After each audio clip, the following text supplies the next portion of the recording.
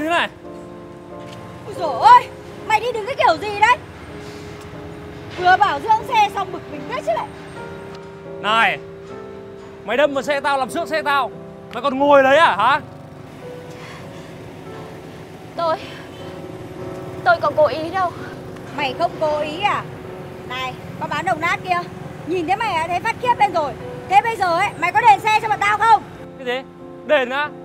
Nó làm gì có tiền mà đền Đúng là sáng ngày ra đã hám Mày lại còn nằm lì ra đấy à Này định nằm ăn vạ chờ bọn tao bồi thường cho á. Này Mày thích giả què đúng không? Tao cho mày què. Này Tránh ra. Mấy người làm gì vợ tôi đây à? Này Lại một cái thằng ờ, khô rách áo ôm. Vợ mày á Vợ mày làm quệt xước xe tao Nhá. Cho nên là tao đang dạy dỗ vợ mày tí thôi. Mày dám làm thế à? Cái gì Tao không dám á. Mày là cái đếch gì mà mày lên tiếng ở đấy? Đúng là rách từ con vợ đến thằng chồng anh nhở. Chúng mày có biết ý Là chúng mày đang làm bẩn cái xã hội này không? Phải. Chúng tôi rách đây thì đã làm sao? Mấy người ấy Giàu thật đấy. Ừ. Đi xe đẹp thật đấy. Nhưng mà cư xử không bằng loại vô học Mày nói cái gì hả? Thôi anh ạ Đôi co với bọn này làm gì? Đi. Mày á Tao tha là mày đấy. Đi. Em có làm sao không? Hả Em đau Nào.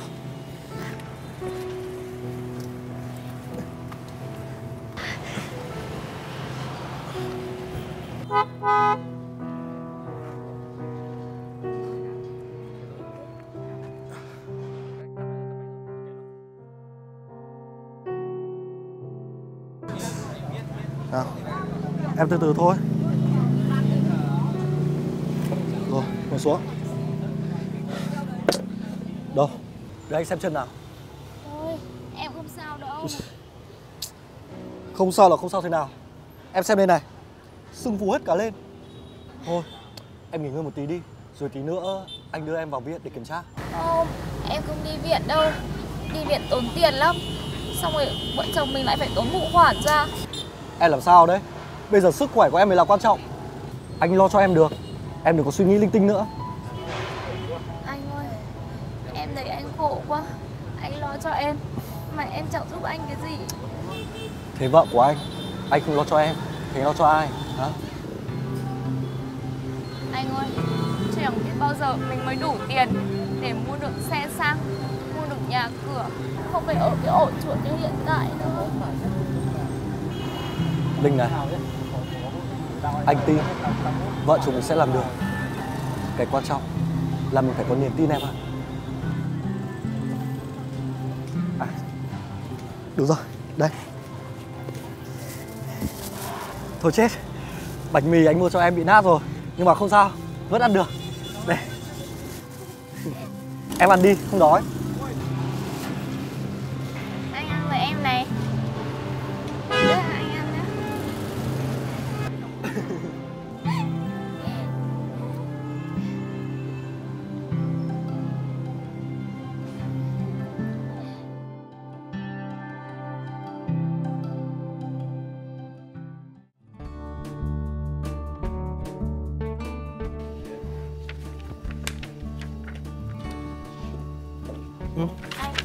Vâng anh đến rồi đây à?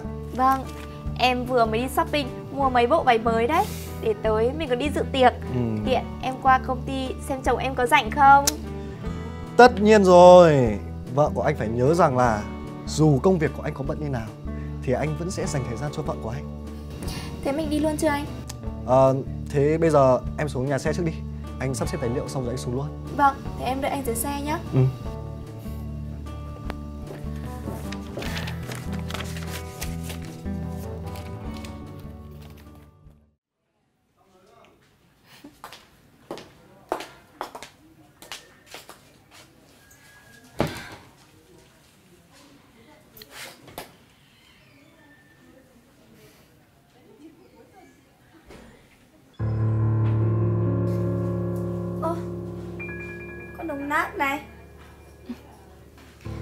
cô Không ngờ sau bao nhiêu năm Ta lại gặp bản mặt của mày ở đây đấy Này đứng lại Mày định đi đâu đấy Tao còn chưa tính sổ với mày vụ mày làm xước xe của tao mấy năm trước đâu Thế cô định làm gì? Muốn gì à? Hôm nay đang có tí chuyện bực mình Làm gì cho vui bây giờ nhỉ? Quỳ xuống xin lỗi tao đi Cô hơi quá quát rồi đấy Quá quát ta Chồng ta là chủ tịch của cái công ty này Chứ ai có chồng là phụ hồ đâu Chủ tịch Sao? Ngưỡng mộ à? À mà quên mất Tại sao hôm nay bản mặt của mày lại xuất hiện ở đây nhở? Đến để thu gom giấy vụn à? Nếu đúng thế thì làm sao? Đúng Cô lại định sỉ nhục tôi Như mấy năm trước đấy á. Tôi nghĩ cô nên rút lại mấy lời nói của cô đi Không đến lúc hối hận không kịp đâu. Mày! Cô thôi đi Cô đừng có làm phiền tôi nữa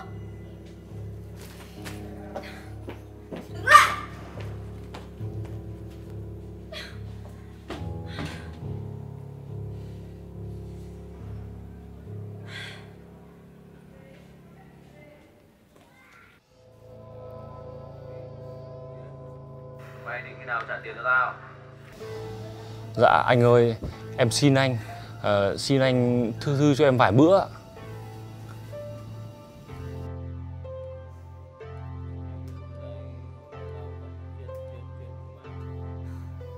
à, Vâng vâng vâng.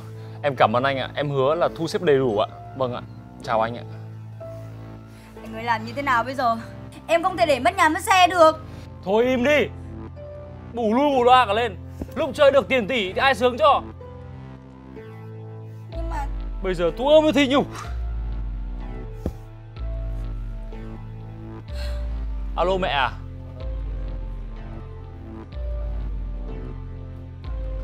Ôi dồi, mẹ ơi Mẹ bình tĩnh nhá. Con sẽ thu xếp tiền gửi về. Con sẽ lo để chữa cho bố Mẹ yên tâm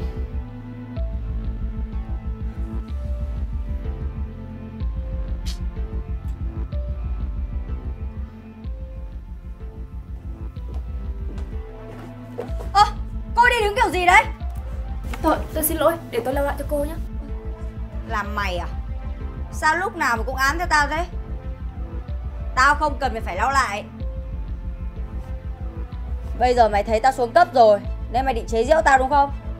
Tôi không có ý khinh thường hay là chế giễu người khác Nghề nào thì cũng cần được tôn trọng Thôi cái Con đồng nát như mày ấy, Cố tỏ vẻ thanh cao Không hợp với mày đâu Cô vẫn như thế Vẫn khinh thường người khác à?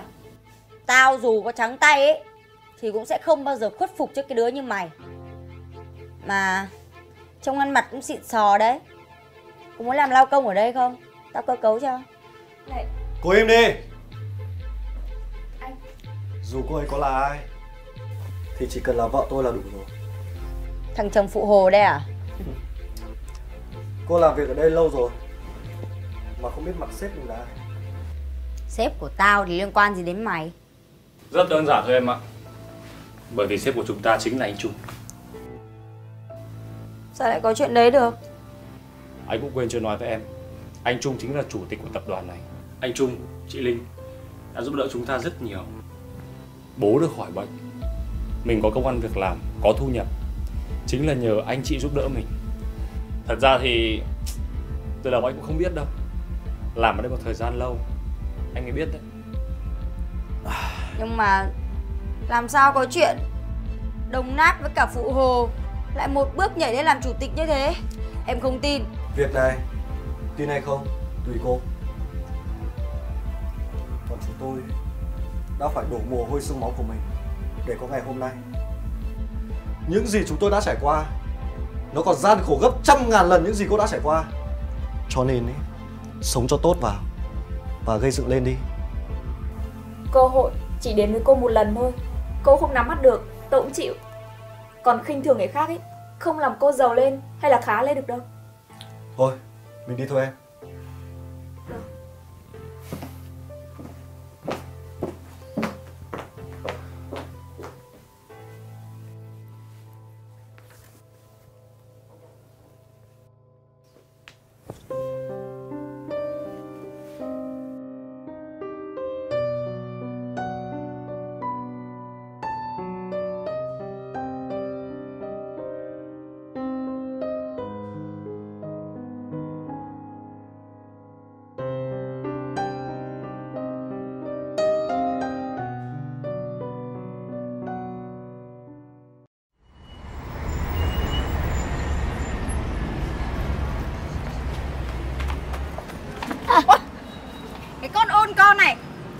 Mày va vào tao là hôm nay mày chết chắc rồi. Ôi, con xin lỗi. À, Cô có làm sao không ạ? Mày hỏi tao có làm sao không à Mày nhìn váy cái thằng nhiều không? Mắt mày mù à? Con... con... Mà cái loại nhà quê Rẻ rách cho mày. Vào đây làm gì? Chỗ này là chỗ bố con. Mấy con hay vào đây ăn mà. Mày nhà quê như này Mà cũng có tiền vào đây ăn à? Nói cho mày biết nhá Lần sau gặp tao Tránh nó xa xa ra nhá. Đừng để tao gặp lại mày Cút đi.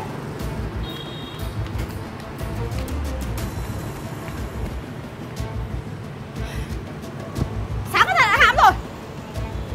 Bực cái mình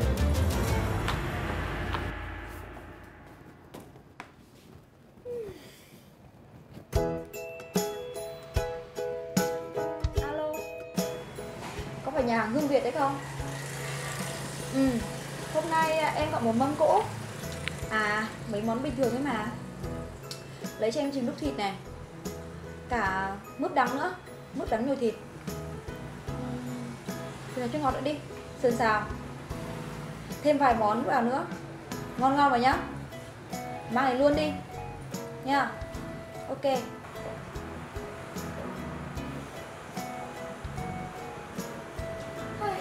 Mà trộn vía nhá. Dạo này da rẻ bị đẹp thật đấy. Tươi tắn, căng bóng. Đúng là nhờ cái shampoo collagen này. Mới uống có mấy ngày thôi Mà da thế này rồi. Không biết à Nếu mà uống lâu dài Anh Quân còn mê mình thế nào nữa.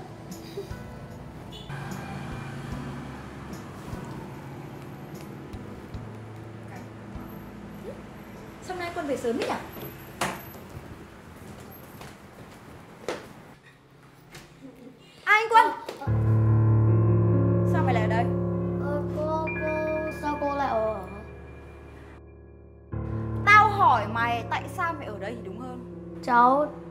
cháu sống ở đây ạ.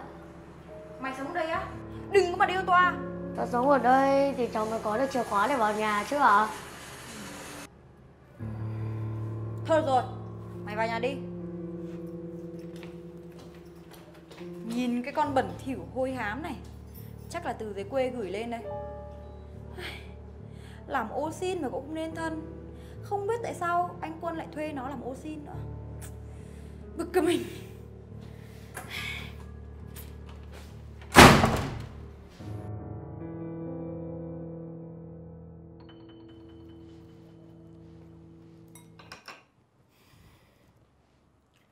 con kia, lại đây Mày không thấy bẩn thỉu à? Không biết dọn dẹp à? Dọn đi Dọn đi Bóc hết ra kia Bẩn thỉu như thế mà chịu được. Con... Xong lấy cái giày lại đây Lau bàn. Không nói lại gì à? con biết rồi ạ? Không biết tại sao Anh Quân lại thề con giúp việc ngu si, đần độn, khó ưa như vậy. Lau đi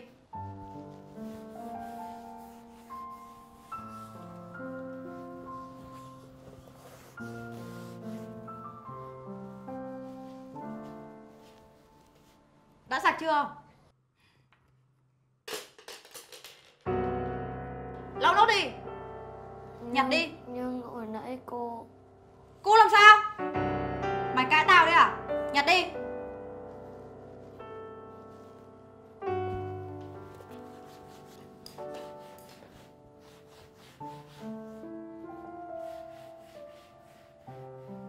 Sau đó mang vứt hết cả đống rác kia đi nhá Con biết rồi Đi đi Vứt luôn mấy cái hộp đi nhá.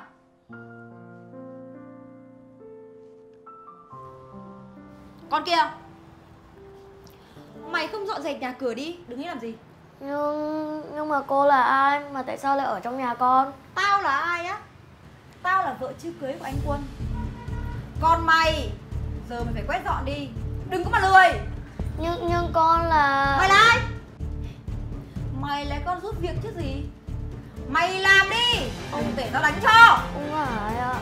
Làm đi. Nhanh lên. Vâng ạ.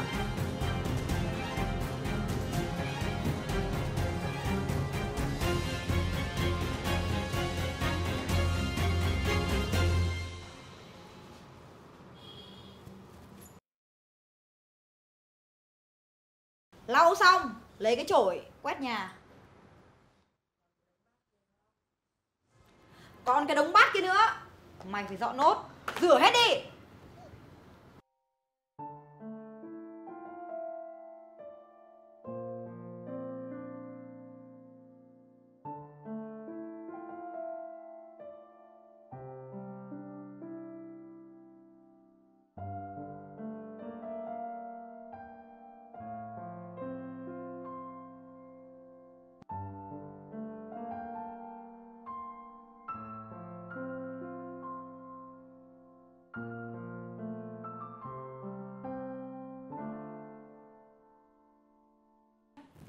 Vào đây. Ừ, đâu?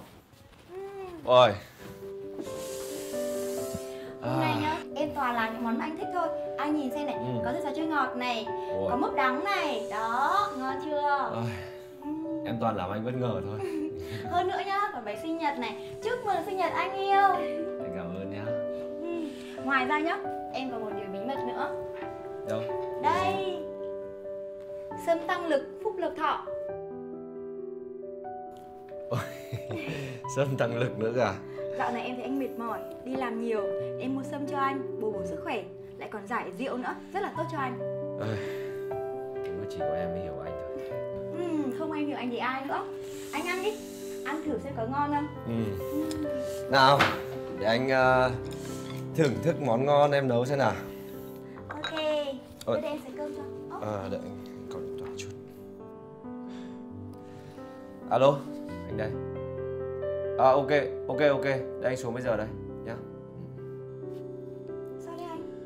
Ờ, anh mang ít tài liệu xuống cho thằng em nhá, để anh chút Ok nhá. Nhanh nhá em đợi.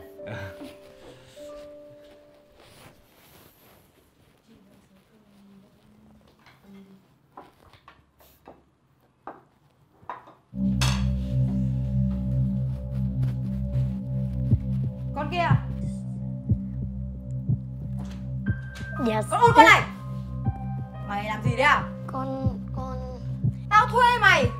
Ngồi chuyện tử à? Ra ngoài dọn dẹp cho tao. Nhưng, nhưng mà Nhưng nhị cái gì? Ra! Mày còn ngồi đấy à? Ra nhanh lên! Vâng ạ.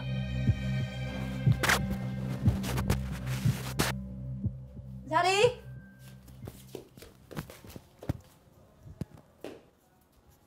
Mày vào dọn đi nhanh lên. Vâng ạ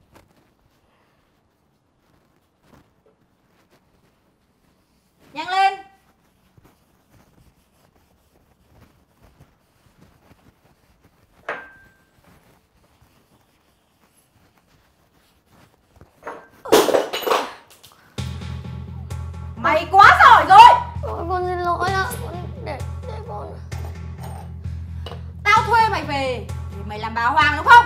Con, con Đụng đâu đổ đấy? Con, con, con xin lỗi. Đây để con nhặt vào cho. Ạ Bây giờ Mày ăn hết bát này cho tao. Ăn đi! Ôi cô, đồ ăn bẩn rồi. Hay cô để con dọn cho ạ Cô ơi. Đồ này Tao không ăn được nữa Nhưng mà cũng không được đền phí. Mày phải ăn hết. Ôi không được đâu ạ. Đây đồ ăn bẩn con không thể ăn được đâu ạ dạy được mày thì để tao dạy Xem mày từ giờ Mày có dám làm đổ vỡ nữa không? Ôi. Ăn đi. Ôi xin cô.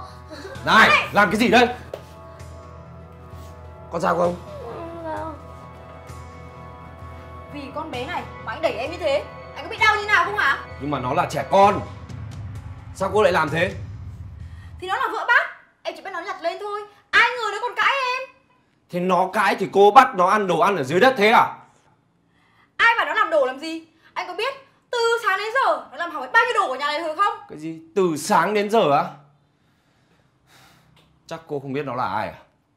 Nó là ô xin chứ ai Cái gì? Ô xin á? Nó là con tôi đấy Cái gì Nó là con anh á Em tưởng hôm nay nó ở với mẹ nó cơ mà Bây giờ ấy, nó ở đâu không quan trọng nữa Quan trọng là tôi hỏi cô ấy Cô làm gì nó từ sáng đến giờ mà để nó ra nông nỗi này Anh à Do là em không biết con bé là con anh, Nên mới như vậy thôi. Em cố ý đâu. Do là con bé nó hơi vụng về một chút, Nên là em mới dạy dỗ nó thôi. Đồ ăn rơi vãi thế này, Em không cố ý với nó ăn đâu. Chỉ là em dọn nó một chút, Cho nó cẩn thận hơn một chút thôi mà anh. Anh phải tin em chứ, Mấy năm bao nhiêu lâu nay rồi, Anh không biết tính em như thế nào sao? Tôi không thể tin được cô nữa. Tôi không biết là khi mà không có tôi ở đây, Thì cô sẽ làm gì con bé nữa? Đúng là khác máu tanh lòng. Anh đừng có nói vậy. Thực sự ra, em không có cố ý mà. Em cũng không hiểu tại sao Em lại như vậy nữa. Thôi, Nói chung là cô về đi. Tôi không chấp nhận được người như cô nữa. Và cô đừng bao giờ xuất hiện trước mặt tôi nữa. Đi đi!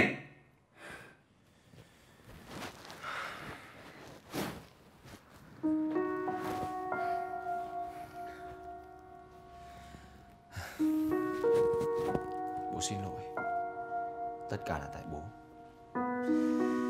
Con có sao không? Con, con không sao ạ.